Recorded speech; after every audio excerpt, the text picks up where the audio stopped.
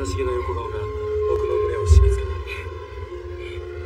ただがこの転落事故はその後僕の知らぬところで意外な展開を見せた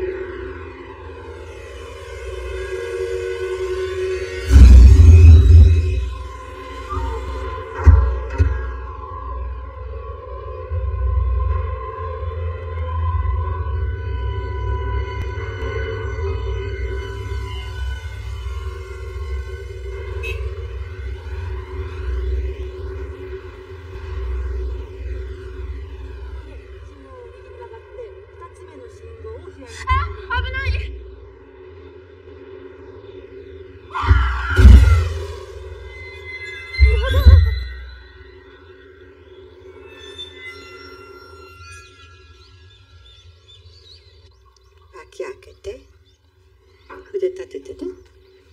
奥様お茶入りました。はい。もう一枚書いてね。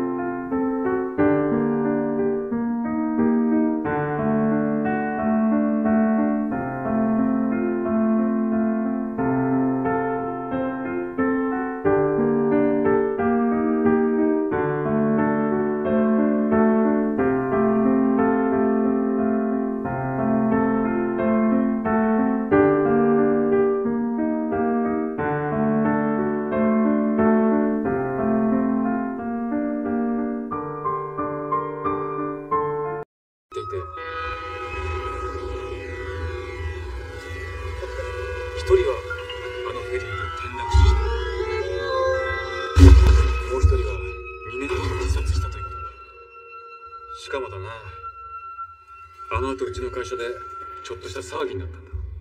騒ぎ？稲田さんって小説家志望の無職で奥さんがホステスやって食わせてたってんだがなんと1億8000万円の生命保険が数社に分けてかけられていたんだ。1億8000万円？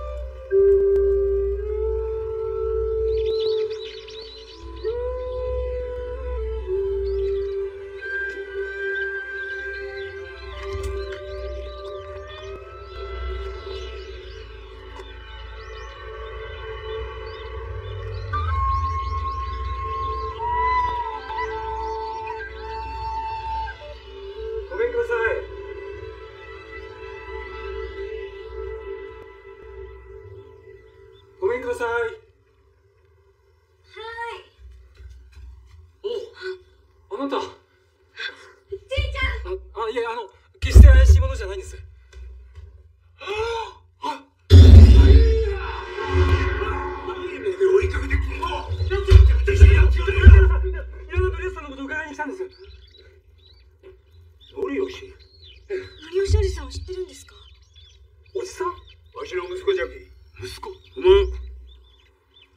の知り合いかいいや知り合いではないんですが。2年前の転落死に不審な点があるので調べに来たんです。不審な点？ええ。とずっと一緒だったので怪しい人かと思っちゃって。やっぱりそうだったんですね。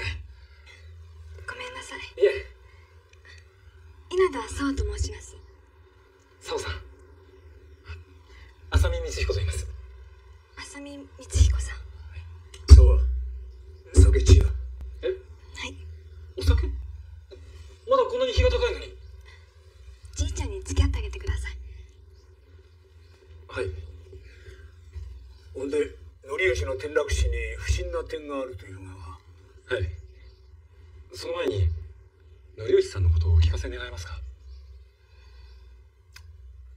あいつは25年前中学を出たばっかりで遠山の凛太郎と一緒に家出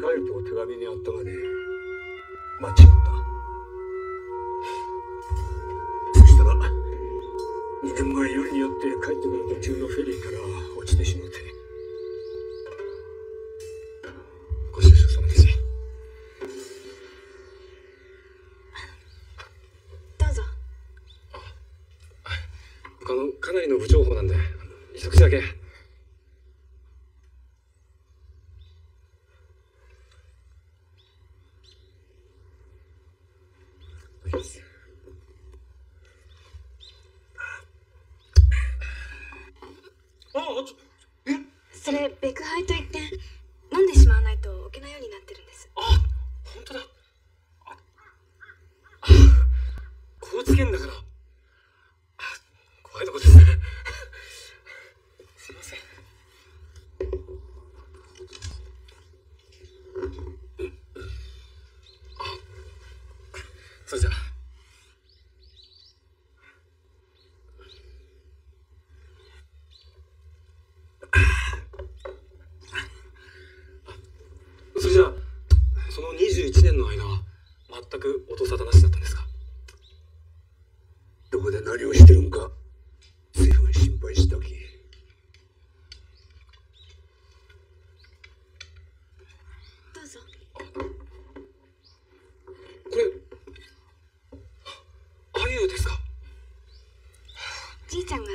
ですよ。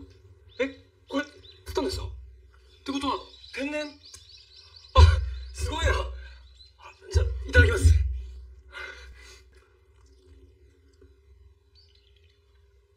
うまい。うまい。うん。そんなに喜んだ人初めてです。天然同士だからですかね。天然同士？までみんなに天然だ天然だって言われてたんですよ。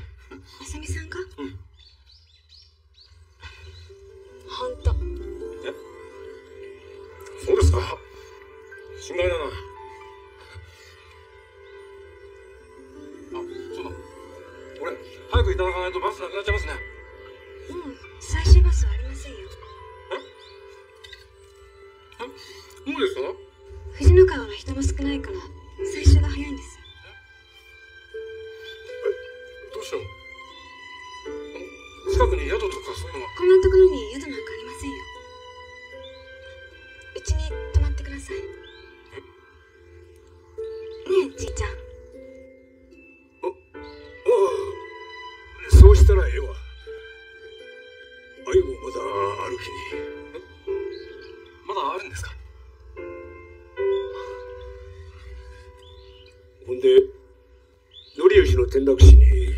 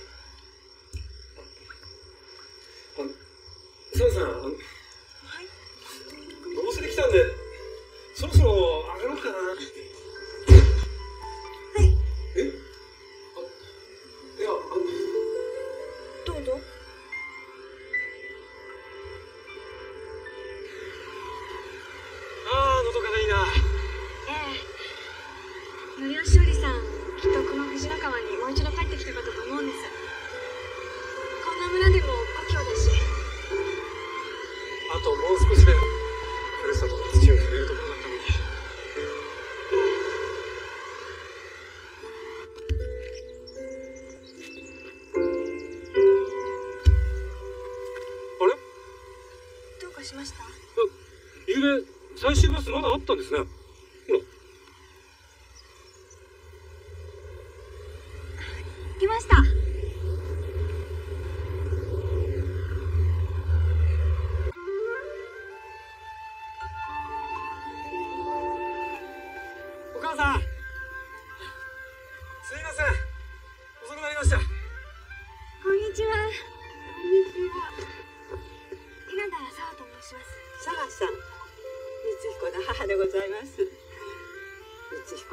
世話になったんでしょきっと。ええはさんのお泊めていただきました。あらまあ。えあいやでも澤さんはおじいさんと一緒に暮らしてまし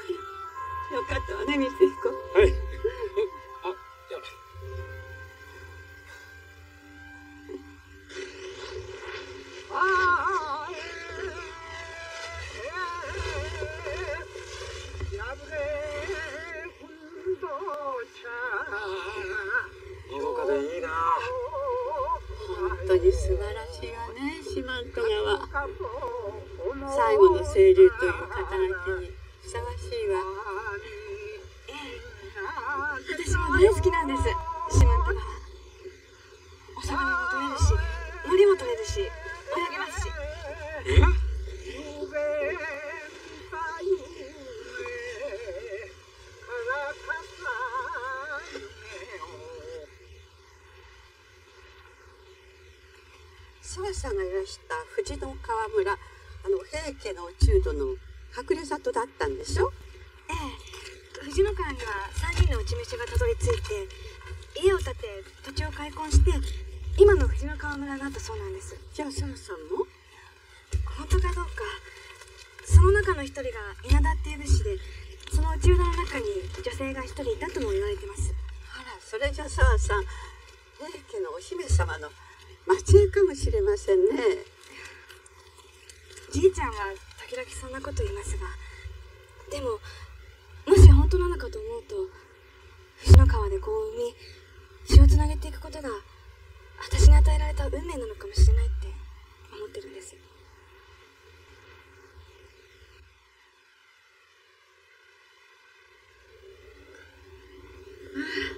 ありがとう。わざわざホテルまで送ってくださって。いえお茶でも飲みましょうかでももう戻らないとバスの時間がなくなっちゃうんです。そう。寂しいわね。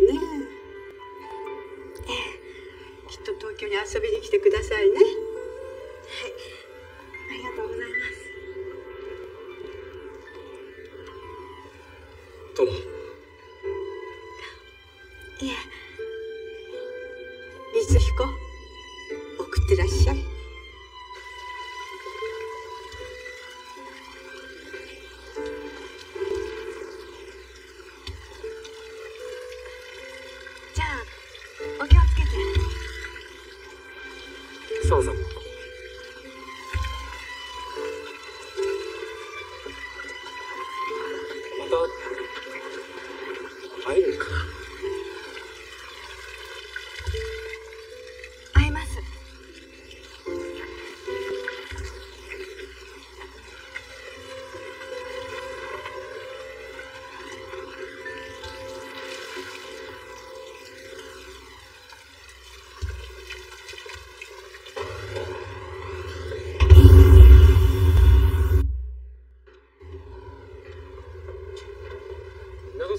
ってどんなご夫婦だったんでしょうか？奥さんがホステスやって生活してたからかどうか。旦那さん無口だけどいい人でしたよ。まあ家事は全部自分が引き受けて。奥さんの面倒よく見てたわね。それがね。1億8000万円の保険金ですか？そうなのよ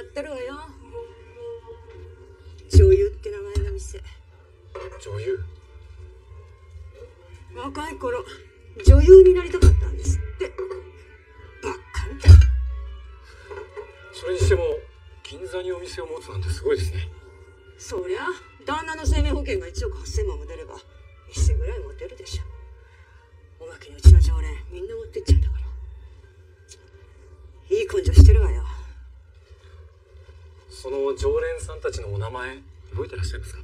そうね。関東生命の浜野さん。鈴木建設の安倍さん。それに遠山さんに高橋さん。ちょっと。あ？遠山さんって先日自殺なさった遠山凛太郎さんですか？あら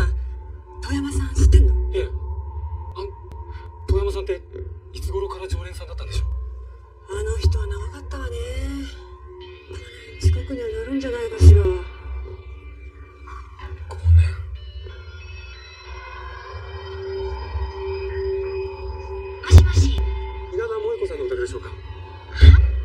私浅見と申しますが稲田則義さんのことで至急お会いしたいんですが。稲田はもう2年前に亡くなりました。私は稲田ではなく竹川という旧姓に戻っています。当時のことで結構です。お話しすることなんてありません。失礼します。遠山さんのことご存知ですよね？遠山？ええ。先日マンションから転落死した遠山凛太郎さんです。遠山さんは萌子さんの前の店からの常連さんなんですよね。稲田さんの生命保険についてもお伺いしたいのでお会いできませんか？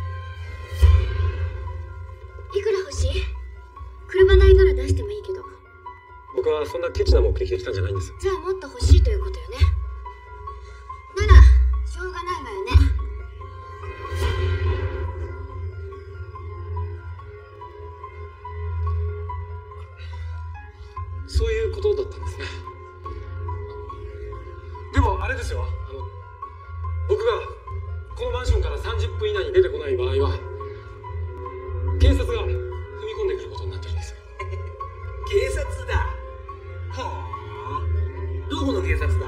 どこ？に麻布中央署だ麻布中央署だと？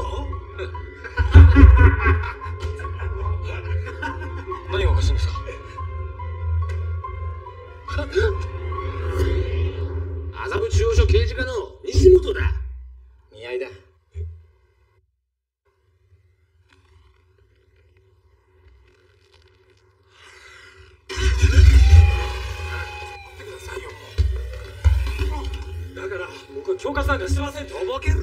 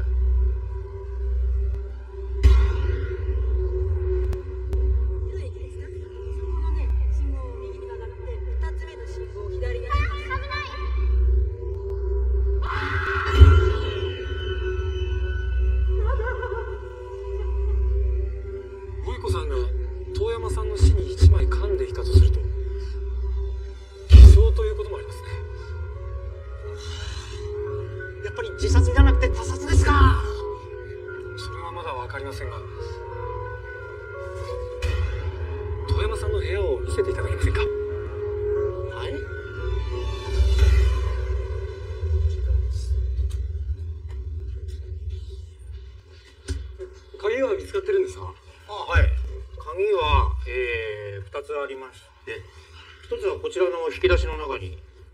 そしてもう一つはこのソファーにかけてあった上着のポケットの中に入ってました。これが鑑識写真です。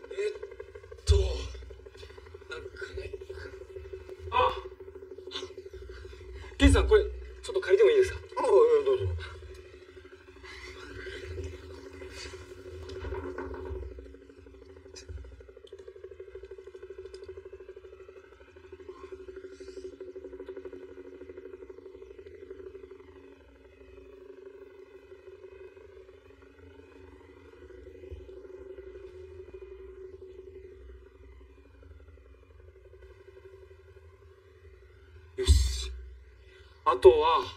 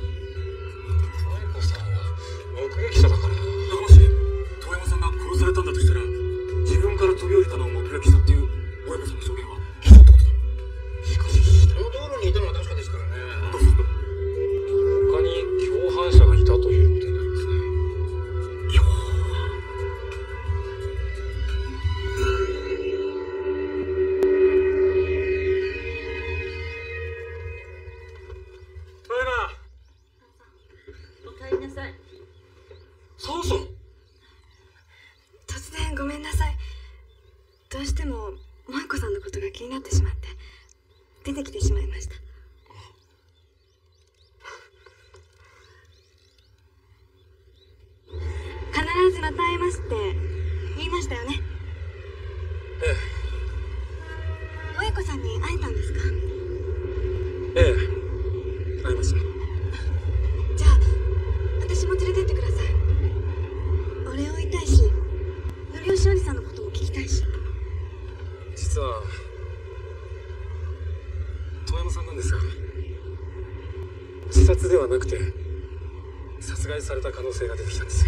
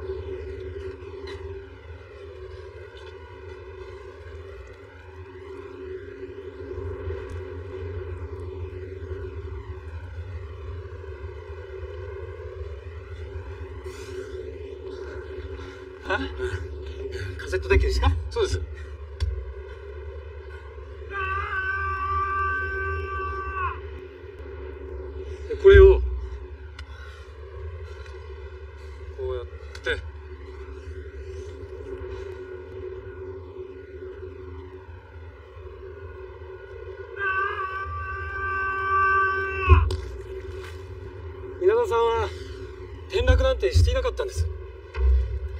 じゃあ。稲田さんは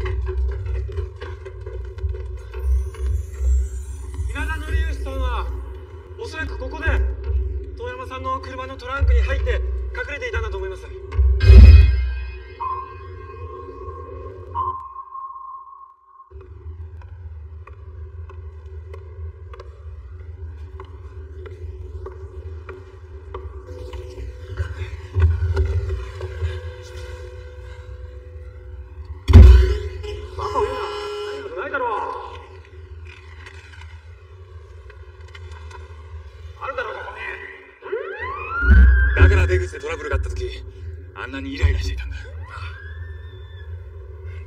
澤さん。もし僕の推理が正しければ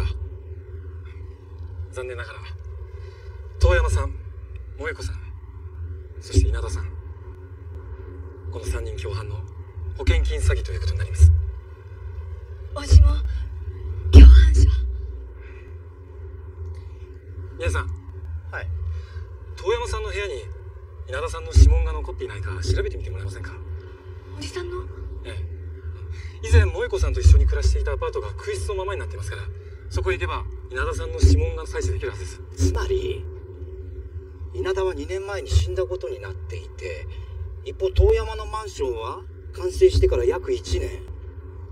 あの部屋からもし指紋が出てくるようなことがあると稲田はまだ生きてることになるってこれこういうことですね。そうです。わかりました。すぐに調べます。まさ遠山さんの部屋の指紋調べろってことは遠山さん殺害した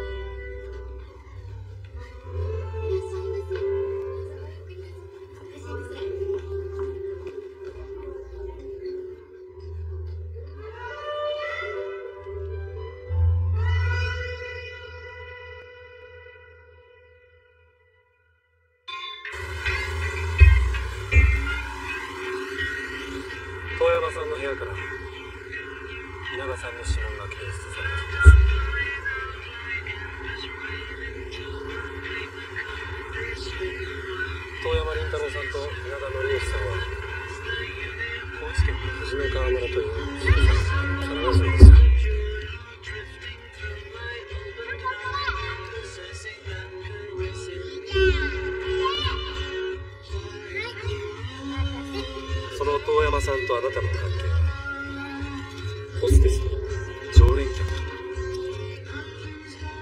こうしてつながった3人が保険金詐欺を計画したんです。計画の第1段階はあなたと稲田さんの偽装結婚です。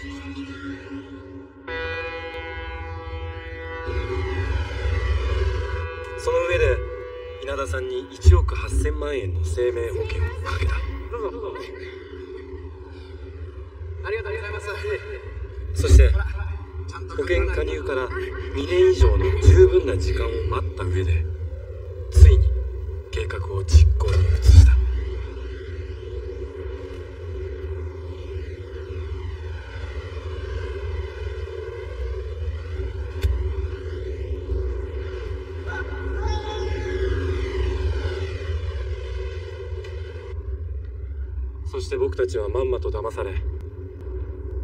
3人は1億8000万円の保険金を手に入れた。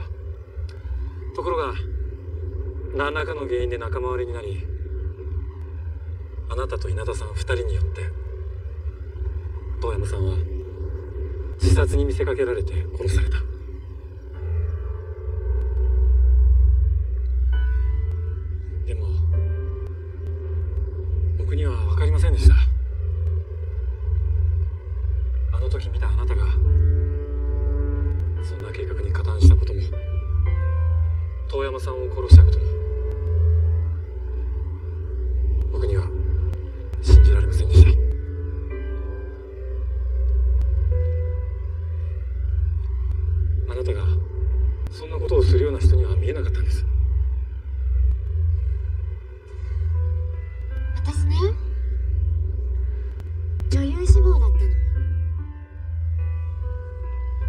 店に女優という名前を付けたんですね。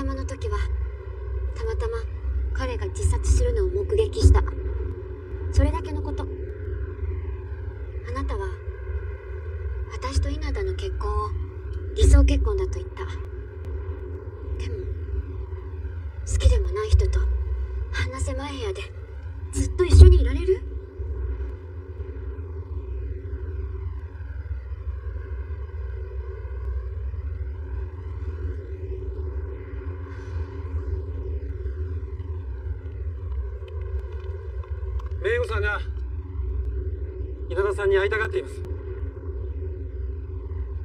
会わせてあげてもらえませんか？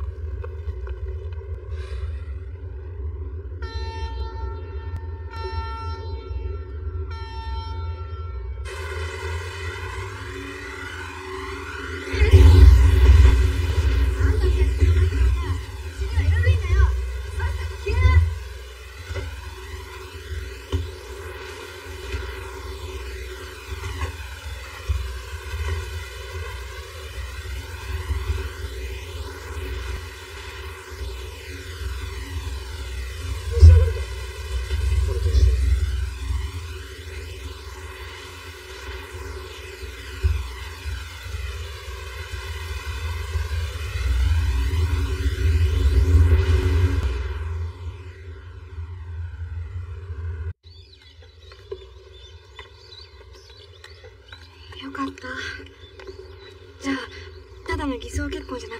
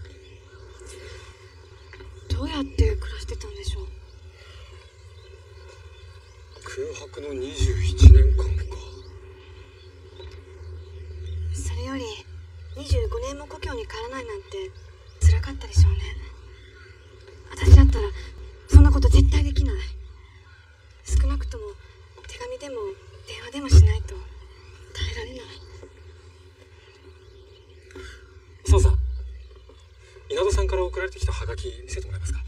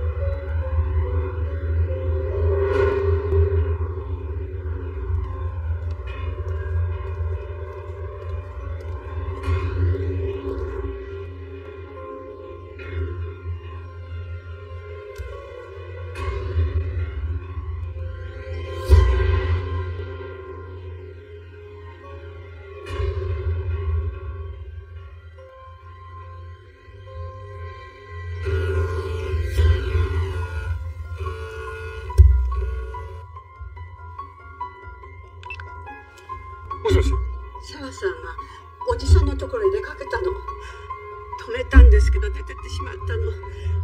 嫌予感がするの。光彦何とかしなさい。もしもし。三重さんですか？今すぐ滝川萌子さんの部屋に急行してもらえませんか？いや私も今向かってるとこで。滝川萌子の部屋で女性が殺されたそう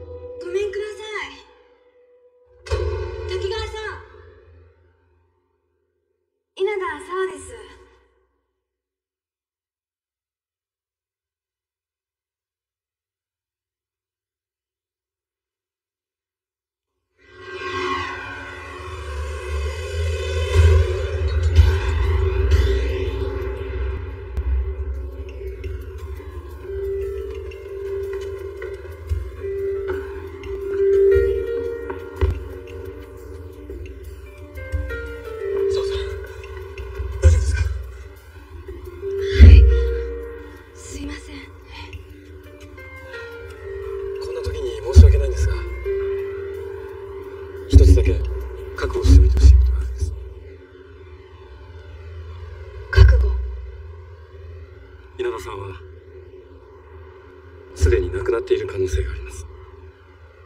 亡くなってる。25年も前に。親だねどういうことだ。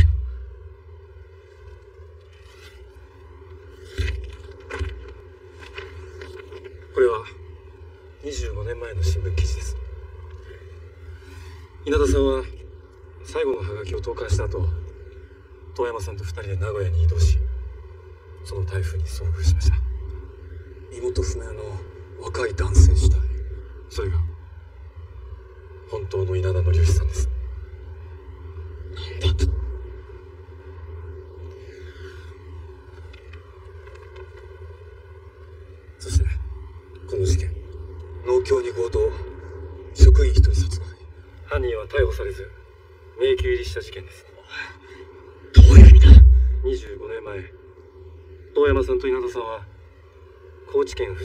を出てアルバイトをしながら徐々に東京へ向かいました。しっかりします。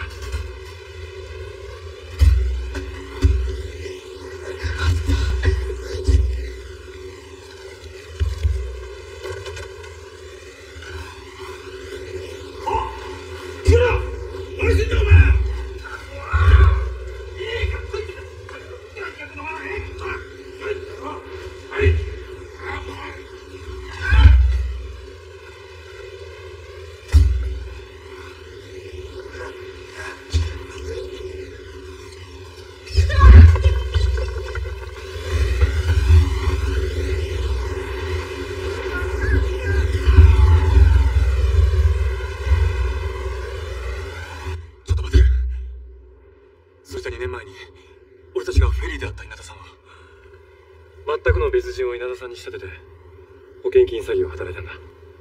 つまりすでに死んでいた人間をもう一度死なせたってことか。そして自殺に見せかけて遠山さんを殺害したのは萌子さんとその偽の稲田さんだと思う。偽の稲田。その萌子さんまで殺されたとなると偽の稲田が犯人か。ェリーだったとこか。後で刑事さんに電話して親子さんの交友関係をもう一度調べてもらう。僕は以前萌子さんと偽の稲田さんが一緒に暮らしていたアパートの周辺を調べてみる。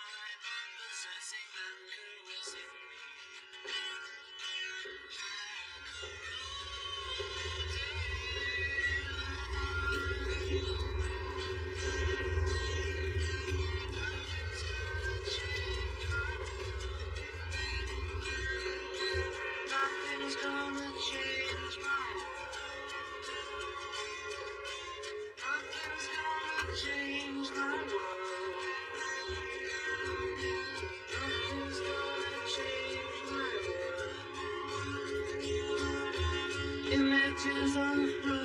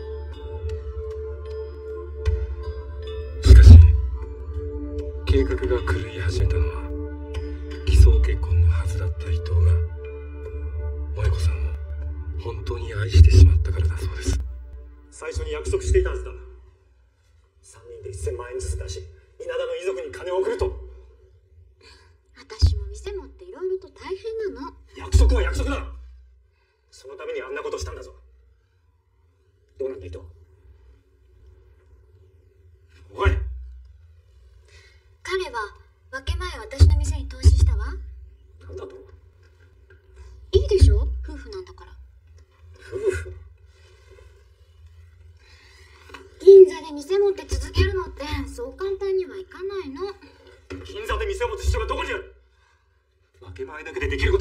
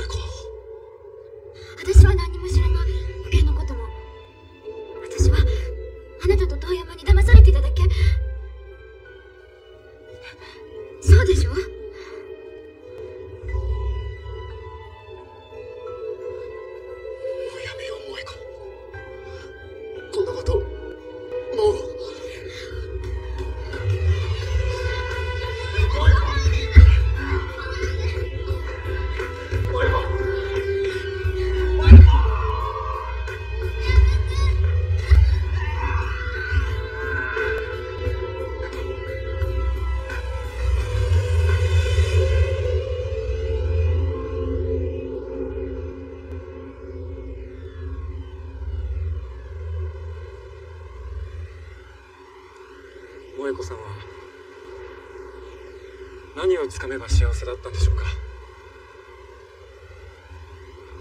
何をつかめば満足したんでしょうか。もう一度ふるさとに帰りたかったんだろうな。みんなが笑顔で迎えてくれるふるさとに。